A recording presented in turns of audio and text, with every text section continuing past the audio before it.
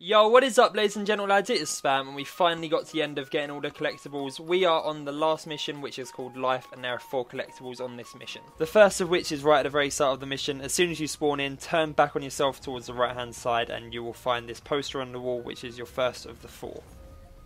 Now, a huge chunk later in the mission, you and Kane would have fought through the Coalescence Centre to get to this room, and she'll unfortunately want you to access a terminal which will open up the door on the right hand side, but before you do so, pick up this collectible from the computer.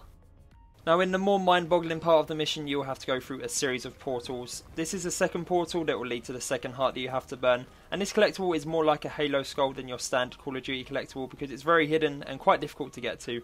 Um, but once you've climbed to the top of this ledge then you'll want to jump across the opposite balcony and then once more up to the top of the building before finding your penultimate collectible.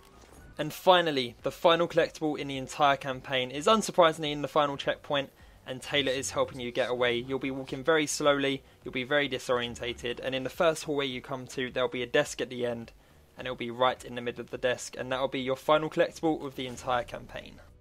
So we're done. Thank you very much for watching this video and even more so if you've used all of my collectible guides. I do appreciate it if you could drop a like if this helped you at all. If watching the campaign on Realistic takes your fancy or you simply need some help on one of the missions then you can click that tile. Alternatively I have achievement and trophy guides for any particular achievements or trophies that you don't have. Again thank you very much for watching and I'll see you soon.